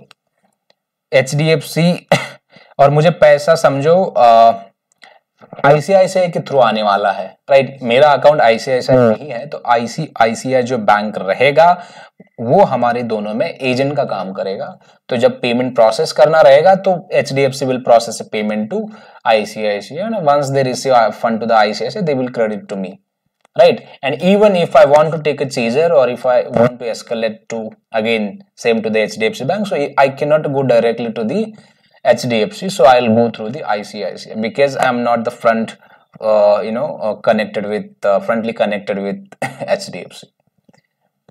Even they will be not able to or entitled to provide any information to me. तो ये बहुत ज़रूरी है चीज़ समझना और यहाँ पे जो साइलो जो है वो समझना बहुत इंपॉर्टेंट है यानी कि एजेंट बैंक कोई भी हो सकता है दूसरी चीज़ वेरी इंपॉर्टेंट है ब्रोकर डीलर्स तो अगर मैं बात करूँ तो जितने भी इंटरनेशनल बैंक है इंक्लूडिंग जैसे कि जेपी मॉर्गन है मॉर्गन स्टैनली है बीएनपी है सीटी है क्रेडिट सूस है, या फिर H D F C I C ये दो are broker firms right broker dealer firms वो खुद के लिए भी ट्रेड करते हैं, या फिर स्टॉक लोन जो फैसिलिटीज़ होती है फॉरवर्ड करना, वो फैसिलिटीज़ भी प्रोवाइड करती है तो उनको ब्रोकर डीलर कहा जाता है राइट right. तो ये जो बैंक्स है, ये बैंक्स काम करते हैं दूसरा, इनके अंडर कौन रहेगा फिर? इनके अंडर कौन कौन आ सकता है? आपको इंटरनेशनल प्राइम ब्रोकर्स जैसे कि इंटरनेशनल प्राइम ब्रोकर्स में कौन कौन आ सकता है? सेम कंपनीज़ भी आ सकते हैं। ज़रूरी नहीं कि अगर वो कोई एजेंट ब्रोकर डीलर है तो कोई आईपीबी नहीं हो सकता राइट आईपीबी का मतलब ये कि कोई इंटरनेशनल है ब्रोकर यानी कि होल्ड अपनी होल्डिंग होल्ड कर रहा है और फैसिलिटीज़ दे रहा है। So they can be the you know the IPP और प्राइम ब्रोकर कौन है जो डोमेस्टिकली कोई ट्रेड कर रहा है अपनी कंपनी में या फिर की कंपनी कोई एंटिटी भी सब एंटिटी काम कर रही है तो वो भी they can treated as a prime broker second is very important which is mutual fund हम सब इन्वेस्टमेंट करते हैं म्यूचुअल फंड के ऊपर बट हमें ये नहीं पता होता है कि अगर कॉर्पोरेट एक्शन अनाउंस हो जाता है तो हमारे होल्डिंग के ऊपर क्या इंपैक्ट होगा. But still that is not a part for a discussion for today's discussion right but यहाँ पर यह ज़रूरी है कि जो हमारे अंडर जो साइकिल uh, रहेगी जो साइलो रहेगा उसमें म्यूचुअल फंड भी एक है mutual fund houses and all right hedge fund वो भी है पेंशन फंड भी है राइट एंड इनके नीचे अगर आप हर एक में देखोगे तो प्राइम ब्रोकर हो, पीबी हो, म्यूचुअल फंड हो, ये किसके पैसे के साथ डील करते हैं, किसके इन्वेस्टमेंट के साथ डील करते हैं तो आपको इन्वेस्टर के साथ। तो जब भी कोई ऊपर से इंफॉर्मेशन आती है it is a like pipeline right company registrar के पाइपलाइन में भरेगी और वहाँ से फिर सेग्रीगेट होगा राइट right? वहाँ से फिर हर एक के अकाउंट में फिड हो जाएगा पैसा। सेम वे यहाँ पर भी वर्कआउट होता है तो ये आपको प्लेयर्स तो समझ में आ रहेगा। तो एक कॉमन प्लेयर्स है। इसमें अगर कुछ डाउट रहेगा definitely you can ask to me यानी कि कॉर्पोरेट एक्शन के एंटायर प्रोसेस में यही रहेगा। कोई कस्टोडियन बोलता है, कोई एजेंट बैंक बोलता है, कोई सेफ़ कीपिंग फर्म बोलता है, कोई लीगल फर्म बोलता है तो एक ही हो सकती है ये सब फ़ंक्शन प्ले करने वाला। इसके लिए अलग अलग फॉर्म रहने की ज़रूरत ही नहीं है राइट तो ये समझना भी बहुत ज़रूरी है। अगर ये बेसिक नॉलेज आपको नहीं होगा तो फिर it will you know be difficult to understand कि एजेंट बैंक कौन होगा, ये कौन होगा, वो कौन होगा। ज़रूरी नहीं, एक ही हो सकता है। और सम केसेस में एजेंट बैंक की भी ज़रूरत नहीं होती directly you would be you know the immediate firm और broker dealer directly you can contact with them तो ये कंपनी के ऊपर डिपेंड है कि कोई एजेंट बैंक रखना चाहती है क्या right but registrar would be the mandatory for all the you know the companies तो ये हमने प्लेयर्स के बारे में भी देखा तो हम यहाँ पर मैंने और मटेरियल मैंने यहाँ पे जोड़ा है, जो है लाइफ साइकिल जो एक कॉर्पोरेट एक्शन की लाइफ साइकिल क्या होगी, उसके बारे में जानना बहुत ज़रूरी है। आप लिख कर भी ले सकते हैं, ये गूगल पे भी मिल जाएगा। बट स्टिल यहाँ पर मैं एग्ज़ाम्पल के तौर पर ये प्रैक्टिकली कैसे करते, ये इसकी बात करने वाला हूँ। और तो और मैं कोई एप्लीकेशन नहीं बता पाऊँगा। हर एक कंपनी में अलग अलग एप्लीकेशंस होते हैं राइट जैसे कि आप अगर किसी कंपनी में ऑलरेडी काम करते हो तो आपको पता रहेगा, अगर मॉडगेज में इंश्योरेंस में कैपिटल मार्केट में या फिर कहीं पे भी तो हर एक कंपनी अपना अपना एक एप्लीकेशन क्रिएट करती है और वही, उसी के थ्रू हर एक ट्रांजैक्शन मॉनिटर करती है। तो यहाँ पर भी सेम होता है right but at the end अगर आपको हर चीज़ समझनी है तो कैपिटल मार्केट में नाम भले ही अलग हो, लेकिन हम करते क्या है यहाँ पे? Exactly we do the auditing either accounting and अगर उसके भी आगे मैं बात करूँ तो valuation just to calculate the value value calculate करोगे तो ऑफकोर्स उसमें से एक्सपेंसेस और जो प्रोजेक्टेड जो भी बाकी चीज़ें रहेगी कैलकुलेट करके नेट वैल्यू निकालनी है हर एक के लिए। टर्मिनोलॉजी और बाकी टेक्निक्स डीप में थोड़ी सी अलग होगी बट जो लॉजिक है क्या यही है? या फिर किसी चीज़ का ऑडिट करना होगा तो डेबिट और credit of course accounting will help you to understand so what is the importance of auditing and all auditing हो रिकंसिलेशन हो एंड ऑल राइट तो ये करते क्या है हम लोग? एक कंपनी के बुक्स में क्या ट्रांजेक्शन थे तो दूसरे ये होना चाहिए तो है या नहीं ये चेक करना है राइट right? दो बैंकों के बीच में हो, दो लोगों के बीच में हो, या फिर बहुत सारी चीज़ें हैं। इन डेप्थ में मैं हर लेक्चर में ऐसे छोटे छोटे टॉपिक्स कवर करूँगा बट स्टिल ये थोड़ा सा वास्ट है, इसलिए मुझे अभी कवर करना है तो हम इसके ऊपर फोकस करते हैं। जब हम लाइफ साइकिल की बात करते हैं तो हर एक कॉर्पोरेट एक्शन इन फेजेस के थ्रू जाता है। Pre announcement announcement right event creation claim processing instruction entitle calculation election management payment processing reconciliation right claim processing risk resolution and reporting अभी जब मैंने बात की थी इतने सारे इवेंट के टाइप्स की तो आपको ये चीज़ समझना बहुत ज़रूरी है राइट अनाउंसमेंट कौन करता है? अनाउंसमेंट करता है कौन? ये समझो।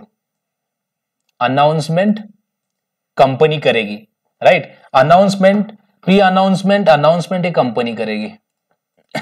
नोटिफाई किसको करेंगे? हम लोग शेयर होल्डर्स को करेंगे राइट जो शेयर होल्डर्स है उनको। जब ये अनाउंसमेंट हो जाती है तो यहाँ पर जो पहले सवाल आ जाता है की डेट्स का। राइट की डेट्स क्या क्या हो सकते हैं राइट एक्स डेट है एक्सपीरेशन डेट है।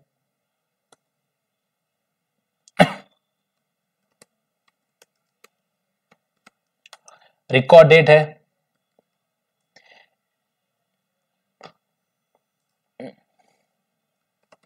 रिकॉर्ड डेट को हम लोग बुक क्लोज डेट बोलेंगे।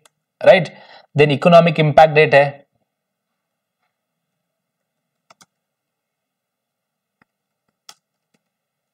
Right right? उसके बाद पे डेट है. Right right?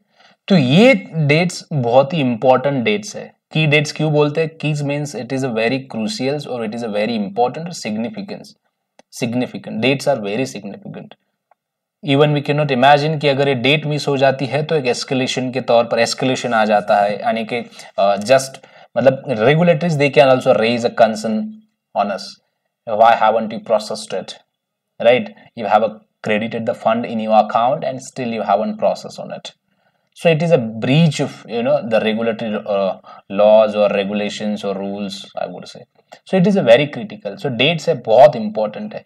तो अभी हम बात करेंगे यहाँ पर कि अनाउंसमेंट क्या है। अनाउंसमेंट जब होगा, तभी डेट अनाउंस करेगी कंपनी कौन सी डेट अनाउंस करेगी? Of course ex date right record date ये दो डेट होंगे।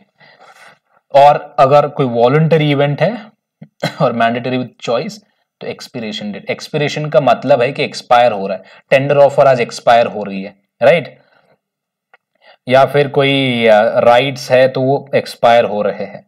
ये या फिर कोई सी एस ओ है कैश एंड स्टॉक है तो एक्सपायर हो रहा है। मैंडेटरी विथ इलेक्शन है तो इस डेट पे एक्सपायर हो रहा है। तो उस इवेंट में, उस कॉर्पोरेट एक्शन में you will see the expiration date right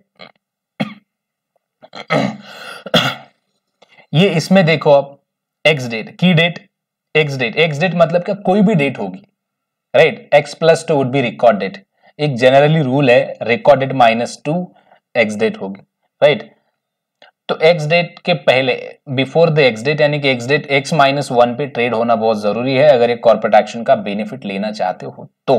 तो ये डेट्स बेसिकली बहुत इंपॉर्टेंट है, और ये जो इवेंट क्रिएशन टीम है, मैं इसके बारे में बोलना चाहता था, या फिर इवेंट क्रिएशन जो है M T five six four एक मैसेज टाइप है, जिसमें ये डेट्स मेंशन रहेंगे। Right right? उसी के बेसिस पे आप एक इवेंट क्रिएट करोगे सिस्टम में कोई भी सिस्टम हो अलग अलग कंपनी में अलग अलग सिस्टम्स होते हैं तो आप एक इवेंट क्रिएट करोगे, उसमें ये डेट्स फ़ीड करोगे जो कंपनी ने दिया है जैसे कि मैंने बोला कि अनाउंसमेंट में डेट्स होते हैं, या फिर स्टॉक एक्सचेंजेस के साइट पे, जैसे कि डी टी सी भी है डिपॉजिटरी ट्रस्ट डिपॉजिटरी के यहाँ पे, या फिर कम स्टॉक एक्सचेंजेस के यहाँ पे you will see the material और you will see the sources on the basis of sources information you can create the event right you can fit this details in the system and you can create the event so as simple as that but जो भी dates रहेंगे date के साथ साथ important क्या चीज़ें रहेगी? isin, QSIP, rate, payout type, right country of issue country of issuer right tax taxable code ये बेसिक इन्फॉर्मेशन है उतनी इन्फॉर्मेशन तो होनी ही होनी चाहिए and this is a very something very very very much needed you know to create a corporate action event अगर ये एक भी इंफॉर्मेशन मिसिंग है इसमें से you can not process the event और post to the next team to you know to action on it अगर वो नहीं है so that is your responsibility to reach out to the register और to the agent bank ये flow समझना बहुत ज़रूरी है। अगर एम सिक्स आ जाता है किसी टीम के पास then you will how to create event अगर मानो कि आप इसी टीम में काम करते हो या फिर एक टास्क आपके पास है। अभी मैं इंडस्ट्री की बात करूँ तो जितनी भी मैं एक्टिविटीज़ की बात कर रहा हूँ, जितनी भी मैं टास्क की बात कर रहा हूँ तो हर मतलब एक बंदा पूरे टास्क करेगा इतने सब सारे। राइट किसी किसी कंपनी में इसको स्टैंडर्डाइज किया है।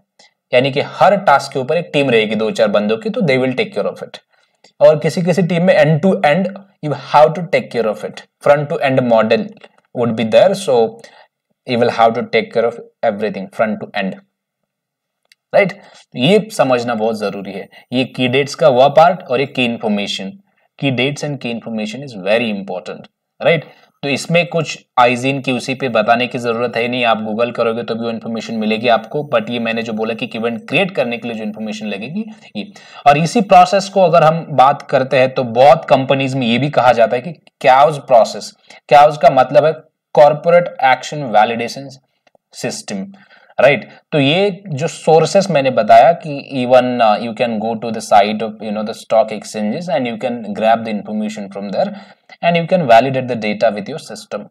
Either you can go to the you know the agent bank or uh, registrar you can ask them you can request them the data either on, on mail or on call. So once they provide the information you can create the event.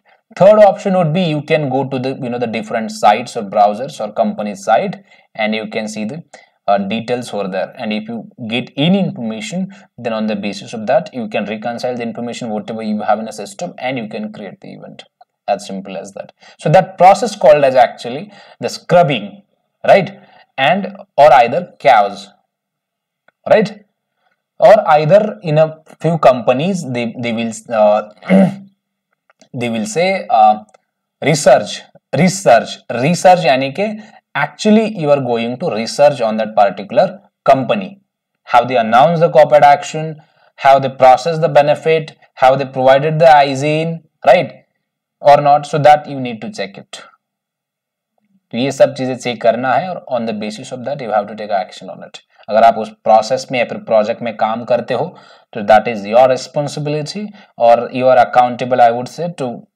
you know to access those information or acquire those information from the sources and create the event accordingly right so as simple as that then a claim processing claim processing something like इसको मैं थोड़ा सा बाद में discuss करूँगा claim processing यानी कि कोई अगर मैं यहाँ पे थोड़ी सी सिर्फ़ मैं आपको बताऊँगा और बाद में डिस्कस करूँगा जितने भी फेल ट्रेड्स होते हैं या फिर कोई ट्रेड ऐसा है जो विद इन टाइम में सेटल्ड नहीं हुआ है रीजन कुछ भी हो सकते हैं, जैसे कि कोई उस टाइम पे अकाउंट में फंड नहीं था, जब वो ट्रेड कर रहा था, या फिर टेक्निकल कुछ इशू था, उसकी वजह से ऑर्डर प्लेस नहीं हुआ, या फिर सिस्टम में कुछ इशू था, या फिर टाइप एरर हुआ the reason could be anything due to that the trade have not been settle it so those trade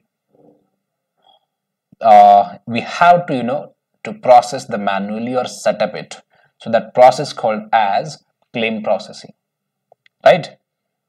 As simple as that. तो ये होगा ये स्टॉक के लिए भी है और कैश के लिए भी है बट उसके दो चीज़ें भी मैं एंगल यहाँ पे बताऊँगा तो कोई कंपनीज़ है जो पहले ट्रेड प्रोसेस करती है ट्रेड प्रोसेस करती है और उसके बाद फीलिंग ट्रेड्स अलग से वैलिडेट करके उनको बेनिफिट प्रोसेस कर देती है और कोई कंपनीज़ पहले ही सब ट्रांजैक्शन प्रोसेस, यानी कि कॉर्पोरेट एक्शन प्रोसेस करने से पहले ही वैलिडेट करेगी ट्रेड्स को और सेटल्ड कराएगी उसको और बेनिफिट प्रोसेस कराएगी।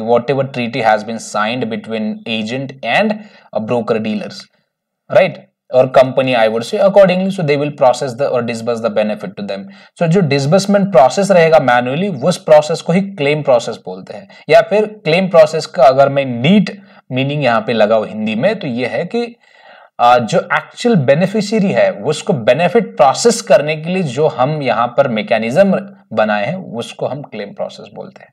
और स्टॉक के केस में तो बहुत थोड़ा सा डिफ़िकल्ट जाता है क्योंकि हमें पता है कि हम सम टाइम शॉर्ट सेलिंग की वजह से भी डिविडेंड जनरेट होता है। हमें पता नहीं होता है, अगर मैं नया हूँ तो मैं ऐसे रैंडमली सेल्स स्टॉक ले लेता हूँ बेच देता हूँ, ले लेता हूँ, बेच देता हूँ तो उसी बीच भी डिविडेंड जनरेट हो सकता है।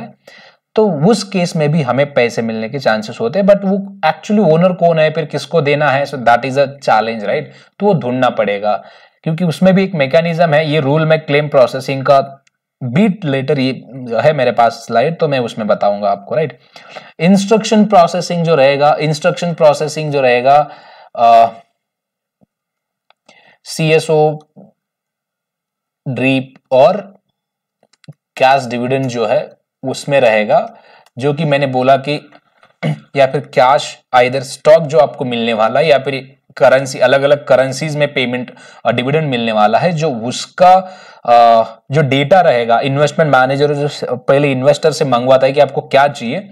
अगर नहीं कोई डेटा नहीं दे रहा है तो उसको एज सिंपल एज दैट क्यों बाय डिफ़ॉल्ट ऑप्शन है तो वो एलिजिबल है तो वो मिल जाएगा राइट तो वो जो प्रोसेस रहेगा, उसको हम बोलते हैं इंस्ट्रक्शन प्रोसेसिंग राइट right. तो इंस्ट्रक्शन प्रोसेसिंग दो मैसेज के टाइप से होता है। एक message type M T five six five और दूसरा है M T five six seven तो ये दोनों भी याद रखना बहुत ज़रूरी है। प्रोसेस में काम कर रहे हो तो भी इंपॉर्टेंट है। अगर आप प्रोसेस में नहीं, या फिर कहीं आई वुड से अगर इंटरव्यू के प्रिपरेशन के हिसाब से आप फ्रेशर हो, उसके लिए सोच रहे हो तो भी ये इंपॉर्टेंट है। Right right? ये याद रखना बहुत ज़रूरी है। उसमें कुछ है ही नहीं है। ये मैसेज टाइप कहाँ से मिलते हैं? स्विफ्ट पोर्टल होता है। वहाँ से you can export the data right तो ये है as simple as that entitlement calculation जो है, ये है जितने भी वॉलंटरी इवेंट्स रहेंगे या फिर नॉर्मली पोजिशन रहेंगे, उसको हम कितना बेनिफिट देने वाले हैं? कितना बेनिफिट मिलेगा? एक शेयर्स में वन इज़ टू वन मिलेगा या वन इज़ टू थ्री मिलेगा? या फिर एक शेयर्स को one is to ten rupees मिलेगा या टेन डॉलर मिलेगा? जो कैलकुलेशन की प्रोसेस रहेगी, उस प्रोसेस को एंटाइटलमेंट कैलकुलेशंस बोलते हैं। एंटाइटलमेंट का अर्थ यह है कि हम कितने बेनिफिट के लिए एलिजिबल है? या फिर एक शेयर्स पे कितना बेनिफिट मिलना चाहिए? ये एक्चुअली वो सिस्टम में सेटअप करके दे देते हैं। कोई टीम होती है या फिर अगर हम we are the part of the team तो हमें करना पड़ेगा उस चीज़ को राइट तो ये चीज़ें होती है। हर एक शेयर होल्डर का अकाउंट होता है ब्रोकर डीलर आईपीबीज का अकाउंट होता है तो अकॉर्डिंगली हम उसको रेशो सेटअप करके पे करना बहुत ज़रूरी है राइट तो इलेक्शन मैनेजमेंट एंड डेडलाइन ये जो प्रोसेस है जितने भी वॉलंटरी इवेंट्स है spin up with elections merger with elections और सब offer tender then I would say even you know I forgot I forgot the name. Uh, जितने भी वॉलंटरी इवेंट्स है right buy back sorry buy back tender right so those are the types जितने भी types है, उनका अलग से एक टीम या फिर कोई एक एक भी बंदा हो सकता है या फिर अलग अलग टीम्स भी हो सकते हैं। जैसे मैंने already I have mentioned it कि कंपनी में कोई एक एंटायर प्रोसेस एक बंदा करेगा या फिर हर प्रोसेस के लिए एक बंदा रहेगा। तो जो उसमें शेयर होल्डर्स का वोट चेक करके उसको किसके अगेंस्ट उसने वोट किया है, उसके अकॉर्डिंग एक इवेंट सेटअप करना, जो प्रोसेस रहेगी, वो उसका जो कैलकुलेशन रहेगा उस प्रोसेस को इलेक्शन मैनेजमेंट कहते हैं। बट वो बहुत ही डिफ़िकल्ट है ही नहीं है बट वास्ट है थोड़ा सा सब्जेक्ट तो यहाँ पे मैं हर चीज़ मेरे पास सोर्सेस है नहीं तो then I not be able to you know to explain to you in details कि बट यस इतना समझ लेना कि एक आइडिया मैं बता रहा हूँ कि ये जो वॉलंटरी टाइप्स के इवेंट होते हैं तो उसमें जब शेयर होल्डर्स वोट करते हैं तो जो वोट जिस अगेंस्ट आया है तो उसको उसके वोट देख के सेटअप करना होता है। किसी ने कैश के अगेंस्ट किया है, किसी ने स्टॉक के अगेंस्ट किया है तो इन सब चीज़ें देख के हमें करना पड़ेगा राइट तो उस प्रोसेस को हम लोग यहाँ पर डेडलाइन बोलते finally the when we talk about payment processing ये सब चीज़ें होने के बाद इवेंट सेटअप हुआ क्लेम प्रोसेसिंग हुआ, सब everything you know the correctly setup तो ऑन पेमेंट डेट जो एजेंट रहेगा आपको इंस्ट्रक्शन भेजेगा कि इनको डेबिट करो, इनको क्रेडिट करो बोल के कैश आइदर स्टॉक के या फिर कूपन या फिर राइट्स के राइट तो अकॉर्डिंगली हमें इवेंट रिकनसाइल करके पोजीशन मैच करके ऑन पेमेंट डेट हर चीज़ अच्छे से देख आईजिन अपडेट है क्यूसीप अपडेट है रेट अपडेट है पे आउट अपडेट अपडेट है कंट्री ऑफ़ इशू अपडेट है राइट टैक्स कोड अपडेट है, ये चीज़ें देख के आपको ये प्रोसेस करना होगा राइट तो ये ऐसे एज इट इज़ प्रैक्टिकली होता है। पेमेंट प्रोसेस होने के बाद ये इंपॉर्टेंट है, मानो वहाँ पर एक हज़ार अकाउंट इवेंट प्रोसेस किया, उसमें राइट? और उसमें से 800 अकाउंट को ही पेमेंट प्रोसेस हुआ 200 आर अनपेड, और बाकी का जो फंड था 200 या फिर शेयर जो भी थे, वो सस्पेंस अकाउंट को मूव हो गए। ये क्यों होगा, कैसे होगा रीजन कुड बी मेनी जैसे कि सिस्टम को समझो system is not allowing to respect to account to process the payment automatically इतने सारे account you will not be able to process all the payment manually because there is there would be a system definitely just you make to you know the tab on that particular function so that system or that the application will help you to publish that or release that or the credit that payment to the account or respective accounts right So uh, whichever accounts are unpaid right so those account you need to reconcile and you have to pay it manually so जो process रहेगी उसको बोलते हैं reconciliation and either risk resolution जो unpaid accounts रहेंगे, उन पर जो एक्शन होगी, उनको मैन्युअली क्रेडिट और डेबिट करना पड़ेगा। जो भी सस्पेंस अकाउंट हो राइटअप्स हो, या फिर बहुत सारे कंट्रोल अकाउंट्स हो, या जो भी अकाउंट्स के टाइप होते हैं, बहुत सारे अलग अलग जगह पर अलग अलग बोलते हैं। फैसिलिटेशन कोई अकाउंट हो डेपो अकाउंट हो राइट या फिर किसी आईपीबी का अकाउंट हो आईसीपी का अकाउंट हो इंटरनल काउंटर पार्टीज़ का, किसी एजेंट का हो, कोई भी हो, जितने भी अकाउंट्स रहेंगे अनपेड है सो so, उसको डेबिट क्रेडिट के हिसाब से बैलेंस देके you have to process it तो उस प्रोसेस को हम लोग रिस्क प्रोसेसिंग भी बोल सकते हैं और रिकन्सिलेशन भी बोल सकते हैं. So the next part is I would say the risk resolution risk resolution क्या है? रिस्क मतलब सॉरी रिस्क रिजोल्यूशन हुआ claim processing so claim processing basically है क्या? क्लेम प्रोसेसिंग जो मैंने बोला कि जब इवेंट पे हो जाएगा उसके बाद you have to process the benefit to those trades जो फेल हुए थे या फिर जो एक्चुअली कॉर्पोरेट एक्शन के बेनिफिट मिलने के लिए एंटाइटल्ड है उनको प्रोसेस करना पड़ेगा इन्वेस्टिगेशन uh, करके पेएबल आइदर रिसीवेबल सो उस प्रोसेस के लिए जो भी uh, रहेगा जितना भी वो मैकेनिज्म है उसको क्लेम प्रोसेसिंग बोलते हैं। तो यहाँ पर ये चीज़ें बहुत देखना ज़रूरी है क्लेम दो बार आया। क्लेम दो बार आया इन द सेंस कि बेनिफिट प्रोसेस करने के बाद भी आया और बेनिफिट प्रोसेस करने से पहले भी आया राइट तो बेसिकली कंपनीज़ यहाँ पेमेंट प्रोसेस करने के बाद प्रोसेस करती है और कोई प्रोसेस करने के पहले। ये जो एजेंट और ब्रोकर डीलर्स है, उनके बीच अग्रीमेंट कौन सा साइन हुआ है, क्या साइन हुआ है, इस पर निर्भर करता है और डिपेंड करता है कि वो कैसे चाहते हैं। पहले प्री सेटल चाहिए पोस्ट सेटल चाहिए पेमेंट के बाद right so that is not our concern and next one is reporting. So once you process all the event you have to report to the respective group or stakeholders of the organization. So this is the entire process we have discussed. Key dates key uh, key things or key, key items you know that you should know. Even we have discussed about the life cycle of corporate action as well. And uh, the layers. Again the very important part is the who uh, who would be the participant in the process of corporate action we have discussed that as well right so almost we have covered many aspect of this process i know इतना details काफ़ी नहीं होगा अगर आप नए हो तो difficult जाएगा but still I am sure कि जितनी चीज़ें मैंने बताई है जितनी चीज़ें मैंने डिस्कस की है वो हर एक चीज़ आपको प्रोसेस समझने में इंटरव्यू देने में या फिर जो भी हो आपका कंसर्न उसके लिए हेल्प करेगी। अगर still you will not be able to understand और able to grasp the things then definitely you can reach out to me on a provided number below in comment section right और I will provide my email I D as well you can reach out to me even you can reach out to me on F B as well I am on F B और Instagram still you can connect with me right so ये हुआ अभी important thing हम ये देखने जा रहे हैं then will wrap up this session I know कि इट इज़ बिट डिफ़िकल्ट अगर वीडियो लेंदी हो जाता है तो भी दिक्कत है तो आप समझ नहीं पाओगे चीज़ें तो दोनों भी केस में। ठीक है बट स्टिल मैं ये नहीं चाहता हूँ कि आपको चीज़ें समझना बहुत ज़रूरी है। ये जो रूल है ये रूल वाइडली फॉलो होता है कॉर्पोरेट एक्शन के लाइफ में। इसका मतलब ये है माय डियर फ्रेंड्स कि एक्स डेट यानी कि कोई भी डेट है एक डेट है मानो आज की डेट मैं ले, ले, ले लेता हूँ यहाँ पर। अगर कोई रिकॉर्ड डेट है, यानी कि record date for example let's assume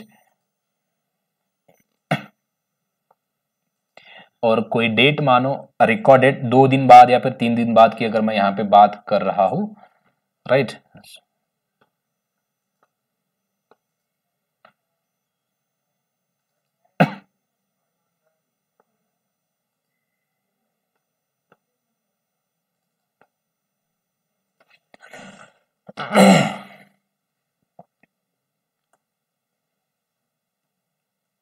right right? अगर कोई ट्रेड है तो ये डेट्स बहुत इंपॉर्टेंट है राइट right? सो so, इसमें लॉजिक ये हो जाता है कि अगर कोई ट्रेड है, मानो कोई ट्रेड है तो जो ट्रेड होगा trade should be placed on ex date on sorry before the ex date sorry हाँ yes exactly the trade should be placed before the x date or traded before x date. Before x date.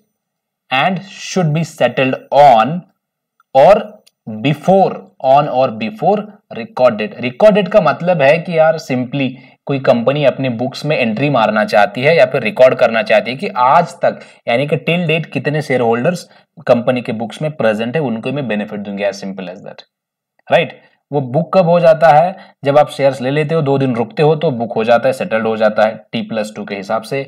अगर मानो आपने कोई shares यहाँ पे ले लिया ex date पे भी ले लिया कंपनी के बोले वाले तो भी you will not able to get the benefit as simple as that कि अगर आपको किसी भी डिविडेंड या फिर किसी भी कॉर्पोरेट एक्शन का बेनिफिट चाहिए in that case you will have to do the trade on ex minus one ex minus one यानी कि इसको बोलते हैं हम लोग entitlement date right entitlement date entitlement date को ही आपको ट्रेड करना होगा। मानो आपने एक हज़ार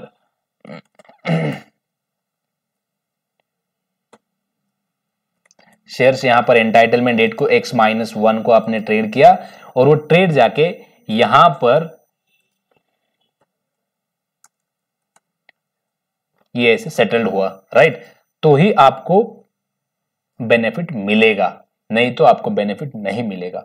अगर इसके पहले रिकॉर्डेड के पहले भी कहीं पे भी यहाँ पर हो रहा है, यहाँ पर सेटल्ड हो रहा है तो भी आपको बेनिफिट मिलेगा राइट तो भी you will be entitled to received the corporate action benefits as simple as that उसमें दो डेट्स होती है, एक कॉन्ट्रैक्चुअल सेटलमेंट डेट और एक होती है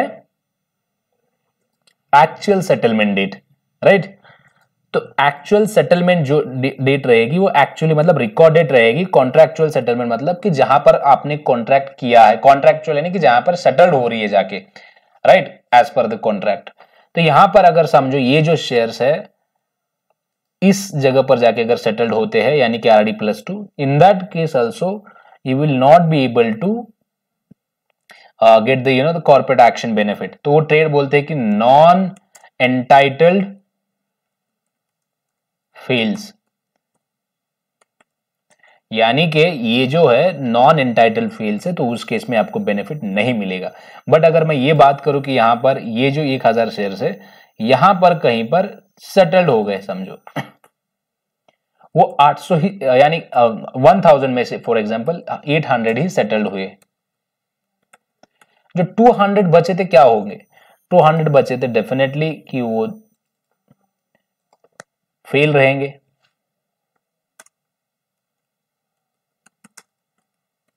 राइट एंटाइटल्ड फेल्स है।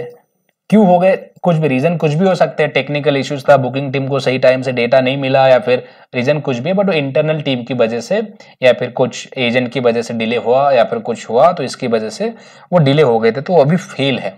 तो वो जाके भी बेनिफिट के लिए एलिजिबल हो जाएँगे तो कंपनी सेटल करके देगी।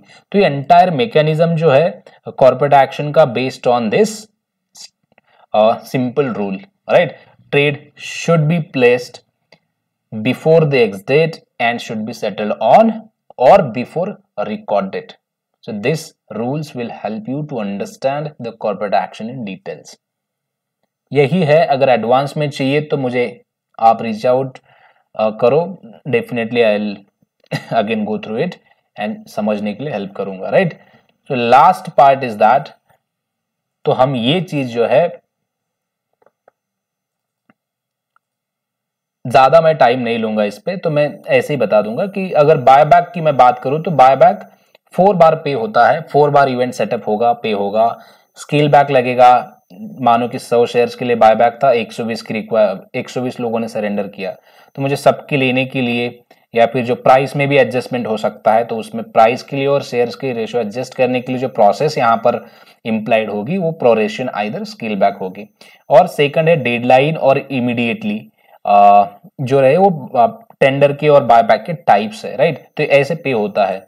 या फिर अगर मैं ये बात करूँ कि कोई कूपन है कूपन कितनी बार पे होता है एक प्रैक्टिकल प्रोसेस में वहाँ पे तो कूपन अगर सीएसओ में जा रहा है सी कूपन के बाद सीएसओ अनाउंस होता है एक्चुअली और पे होता है। कूपन जब पहले हुआ तो उसके बाद इक्विटी के ऊपर कूपन मिलते हैं ना तो उसके बाद जब कूपन में जो भी निकलेगा उसे बेनिफिट मिलेगा तो वो एक सीएसओ में या तो स्टॉक रहेगा या फिर कैश रहेगा। कैश रहेगा स्टॉक रहेगा, जो स्टॉक रहेगा स्टॉक नॉन ट्रेडेबल रहेगा तो उसको ट्रेडेबल के लिए एसिमुलेशन इधर एक्सचेंज मैंडेटरी इवेंट क्रिएट होता है। ये डिप का है, चीज़ें समझेगी नहीं आपको आई नो बट इसके लिए मैं अलग सा सेशन बनाऊँगा बट स्टिल मैं अभी इसलिए दिखा रहा हूँ, जब आप नेक्स्ट टाइम इसका रेफरेंस लोगे तो आपको समझेगा। या फिर अगर कैश डिविडेंड कूपन के बाद आ जाता है स्पेशली ये फ्रांस मार्केट के लिए होता है राइट तो आपको फिर रिडम्शन भी होगा कूपन टेक डाउन करना होता है कूपन आप निकाल रहे हो अकाउंट से, पहले दिया था, और उसकी जगह पर आप कैश दे रहे हो या फिर स्टॉक दे रहे हो तो ये सेम विथड्रॉल वगैरह प्रोसेस होगी तो ऐसे होगा। और last part that I would want to show you which is right distribution right distribution process mechanism जो है rights can be you know the two types one is tradable and second is non tradable अगर मैं tradable की बात करूँ तो Belgium market और Netherland market और etcetera would be you know rights if they if someone have announce the rights from that uh, geography so those rights will be tradable and non-tradable of course the UKM JFR or Germany and United Nation Kingdom markets would be the non-tradable uh, uh, rights right जो trade rights जब announce होते हैं उसके बाद उसको subscribe भी करना होता है राइट अगर सौ मानो किसी कंपनी के सौ राइट्स मार्केट में आए सौ के सौ शेयर्स होना बहुत ज़रूरी है अगर नहीं होते हैं तो लैप्स हो जाएँगे लैप्स प्रोसेस को we can call here take no action means अगर आप शेयर होल्डर्स हो किसी कंपनी का, दस आपके पास शेयर्स है किसी कंपनी के और उस कंपनी ने राइट्स दे दिया आपको राइट्स इश्यू कर दिया बट आपने इंटरेस्ट नहीं दिखाया उसमें of course that will be lapse right lapse हो जाएँगे तो टेक नो बोलेंगे उसको तो आपके अकाउंट वो रिमूव कर दिए जाएँगे अकाउंटिंग पर्पज के लिए right so there is no make sense to you know keep their keep दो shares in the account for long right? So those will be removed. So second is sub offer or subscribe. So i would say uh, अगर किसी ने मानो subscribe किया तो अगर subscribe करने के बाद that particular rights will be pay in a you different ways. Like uh, uh, subscribe rights जो रहेंगे उसके ऊपर जो कंपनीज़ रहेंगे प्रोसेसिंग के लिए कॉस्ट भी चार्ज करती है. Right right? आप सब्सक्राइब करोगे तो सब्सक्राइब का कॉस्ट तो आपको लगेगा ही. यानी कि फ्री में कोई चीज़ मिलेगी ही नहीं। तो वैसा सीन है तो उसके लिए जो प्रोसेस हम बना के देंगे तो उसके ऊपर कॉस्ट भी चार्ज होता है। या फिर सम टाइम ओवर सब्सक्राइब भी हो जाता है, किसी को दस की जगह बीस चाहिए होते अगर कंपनी ने दस दिया था पहले तो भी बीस चाहिए। और उसमें है सब्सक्राइब्ड सब्सक्राइब्ड यानी कि सब्सक्राइब कर लिए तो अगर ट्रेडेबल मार्केट में डायरेक्टली जो सब्सक्राइब रेट ट्रेड लाइन पे जाएँगे और फिर अगर नॉन ट्रेडेबल है तो डेफिनेटली मैंने यहाँ पर एक बनाया कि उसके लिए भी एसिमुलेशन नहीं तो मैंडेटरी एक्सचेंज इवेंट क्रिएट होता है तो उसके थ्रू ये पे हो जाता है राइट तो ये ये चीज़ देखना बहुत ज़रूरी है, ये। तो ये ऐसा है तो यहाँ पर हम अभी रुकेंगे, बहुत टाइम हुआ है स्पेशली तो मैं ज़्यादा टाइम अभी नहीं लूँगा आपका। तो why would create an assimilation और एक्सचेंज इवेंट तो ये मैंने क्वेश्चन पूछा था तो उसमें सिंपली है कि जो राइट्स नॉन ट्रेडेबल राइट्स है ट्रेडेबल करने के लिए we create the assimilation either exchange mandatory event right तो हम बाकी पोर्शन रहेगा तो मैं उसके ऊपर जितने भी बाकी चीज़ें रहेगी, और थोड़ा सा और अच्छे से और डीप में एक सेशन लूँगा, और उसमें विल डिस्कस इन डिटेल्स और साथ ही साथ so I am in a plan to cover you know the hedge fund और mutual fund and private equities also or either uh, equity research and all part and even alternative investment part also. So that will help you to uh, land the you know in a different mncs if you are a fresher or if you are a experienced professional still you can go through this. So this will help you a lot to understand the different processes right? I have seen on even uh, uh, different browsers or you know the youtube as well no one have made video like this or uh, discussed uh, in details like this. They have a uh, you know made a video on the basic idea of corporate action or basic idea of mutual fund and all. But i'm here giving you the practical exposure as well. I'm here delivering a practical concept as well so which which is are being used in the corporate or in the uh, respective process and projects right? So i'm in a plan to give you end to end industry knowledge. Because as we know that there is a gap between industry and education system of, of, uh, uh, of our country right? So there is no practical exposure there is no practical assessment there is no practical you know the productive knowledge in the education system. And because of that we guys are not able to understand to the industry right? So there is a gap between uh, human resource and industry is first first would be the knowledge of course domain knowledge or vertical knowledge or project knowledge. Second is communication and third is production and utilization and all right so i'll not be discussing about those parts so i'm I'll, I'll be discussing about only the one which is knowledge right जो M किया आपने graduation किया art किया उसमें जो भी ज्ञान लिया वो ज्ञान का कुछ फायदा है नहीं वहां पर राइट सो so, जो भी ज्ञान you have earn in the academic so that won't help you to you know the land in the industry क्योंकि इंडस्ट्री में ये सब चीज़ें होती है, इंडस्ट्री में ये ये सब चीज़ें रहती है तो ये कहीं आपने बुक में नहीं देखी होगी। राइट इवन दो जिसके अभी अभी अभी अभी मार्केट ये फॉरेन का मार्केट है एक्चुअली इंडिया में अभी अभी वो डेवलप हो रहा है। राइट यूके और यूएस में ज़्यादा था। अभी एशिया में एशिया पैसिफिक में भी बढ़ रहा है एक्सपोजर मिल रहा है तो। तो ये चीज़ें, ये इंडस्ट्री में स्कोप है एक्चुअली बट ये चीज़ें द बेसिकली पॉइंट इज़ कि ये चीज़ें आपको कहीं मिलेगी नहीं। तो मैंने डिसाइड कर लिया है कि ये चीज़ें आपको डिप में दूँगा।